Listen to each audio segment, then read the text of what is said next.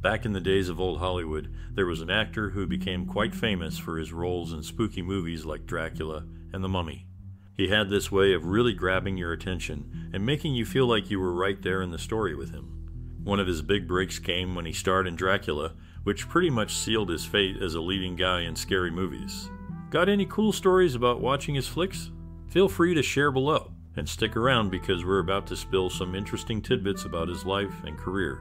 Stay tuned for more. Are you a fan of classic Hollywood movies?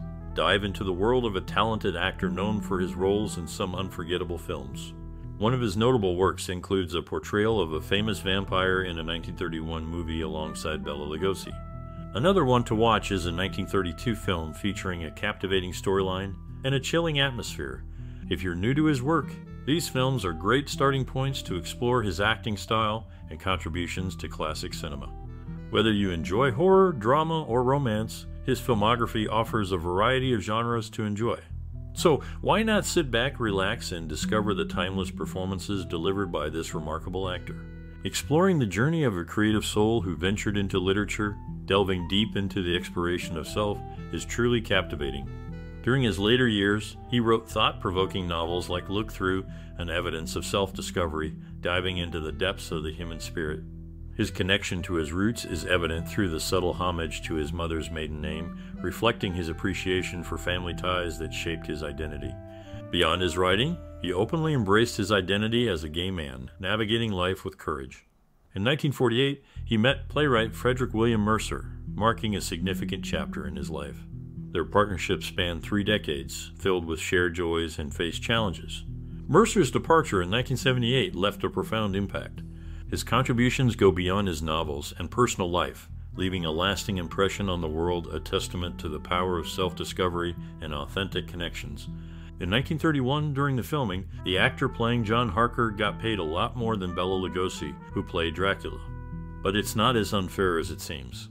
The actor was actually under contract to Warner Brothers First National, and studios often lent out their contract players for more money, but they kept the extra cash. This movie was a big hit, the most successful one with both of them. Before this, they worked together on two films at Warner Brothers First National and one at Fox. This kind of arrangement was common in old Hollywood. Studios had a lot of power over their stars, controlling not just what roles they played, but also how much they got paid. Even though it seemed like one actor got paid more, the success of the film was a big deal for both of them. It made them even more famous in the industry. The inner workings of Hollywood back then can be a bit complicated, but they're interesting to learn about. This movie is still famous today, not just as a horror classic, but also as a reminder of how things worked behind the scenes in old Hollywood. He collaborated with Helen Chandler on four films, two at Warner Brothers First National, and one at Fox. Their most famous pairing, Dracula, was made at Universal. In The Black Cat, he portrayed Peter Allison. Despite rumors of earning more than Bela Lugosi, his $2,000 salary included a fee paid to the studio he had been loaned out from. Consequently, he likely earned less than Bela. Scheduled for a 15-day shoot with a budget of 91 125 Dollar the Black Cat allocated 7 $500 for Boris Karloff, $3,000 for Bela Lugosi, and 3 $125 for him. The actual Black Cat earned $200 during the Depression era, it's intriguing how some actors choose not to revisit their past work, even when it's a movie they starred in. Take, for instance, one actor who played John Harker in Dracula. Despite being in the film, he admitted to never watching it. This might seem odd, but it adds to his mysterious image as an actor. For another movie, A Bill of Divorcement, a studio borrowed him from another one just to have him in the cast. This shows how valued he was as an actor in Hollywood's golden age, where studios often swapped actors to fit their roles. Even though he avoided looking back at his old performances, he still amazed audiences with his acting skills, making a lasting impression on the movie world. Once engaged in the vibrant world of New York art and the rugged plains of the Wild West, he seamlessly shifted between these contrasting landscapes. From the refined atmosphere of galleries to the rough terrain of the frontier, he embraced diverse experiences. He even starred in a movie alongside Bela Lugosi, playing John Harker in Dracula. Despite the allure of Hollywood fame, his contract likely meant most of his earnings went back to the studio. After bidding farewell to the glamour, he found solace in ranch life, pursuing his love for filmmaking. Armed with a camera, he set out to capture the beauty of ranch living, but suffered a setback when his footage was stolen.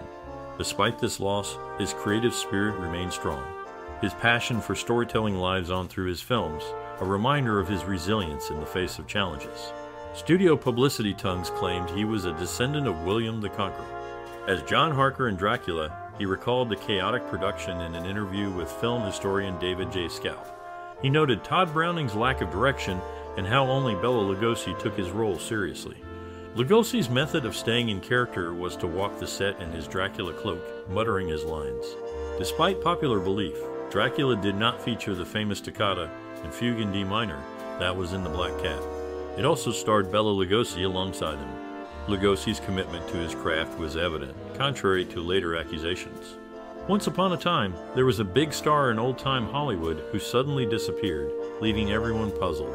He started acting when movies started using sound and became famous for scary movies with famous actors like Bela Lugosi and Boris Karloff. Despite his success, he quit acting to try other things, which confused a lot of people because he was really good at it. Interestingly, they took away his star on the Hollywood Walk of Fame, leaving an empty space and leaving fans wondering why. Some people say it was because of scandals or fights, while others think it was just a mistake. But even though his star is gone, people still remember and admire his early work in Hollywood, especially in scary movies. The mystery of why they removed his star just makes people even more curious about him and his story. Did you know that despite finding fame in Hollywood during the 1930s, he later decided to quit acting altogether? Disappointed by how shallow the industry was and the lack of meaningful roles he was offered, he chose to leave behind the glitz and glam of Hollywood for a quieter life away from the cameras. This decision surprised many fans who admired his work, as he had once lived a very busy life. Now he prefers peace and quiet, enjoying a more private life despite his past fame. His departure from acting saddened his fans, who missed seeing him on screen, but even though he's not acting anymore, his work still captivates audiences today. In the era of classic Hollywood, there existed a figure whose story often remains overshadowed by his more famous peers. This individual, while not as widely celebrated, left a lasting mark on the silver screen. Throughout his career, he grappled with a profound sadness stemming from the loss of his beloved wife to pneumonia.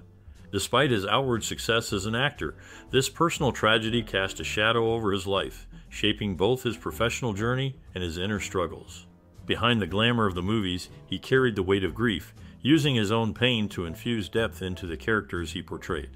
His ability to translate personal sorrow into poignant performances resonated deeply with audiences, offering a glimpse into the human side of the entertainment industry. In the world of classic cinema, where fame often took precedence, his story serves as a reminder of the complex intersection between personal tragedy and public perception. His legacy endures as a testament to the power of resilience in the face of adversity. In a surprising turn of events, a well known actor suddenly quit acting at the peak of his career, leaving fans and colleagues puzzled. Instead of staying in the spotlight, he decided to live away from public attention. His decision baffled many who couldn't understand why he chose to leave so suddenly. Despite people guessing, the real reasons for his departure remain a mystery, making him even more enigmatic. Speculation swirled around his exit, with some suggesting he had grown weary of the relentless demands of fame while others whispered about undisclosed personal reasons. Whatever the truth may be, one thing is certain his abrupt exit from the industry left a void that many hoped would one day be filled. But as time passed, it became increasingly apparent that he had no intention of returning to the limelight. Instead, he retreated into seclusion, far from the glitz and glamour he once embraced. Perhaps only he knows the real motivations behind his decision, a secret he guards with an enigmatic silence that adds to his mystique. Whatever the case, the actor who vanished into the shadows continues to fascinate and capture the curiosity of fans around the world.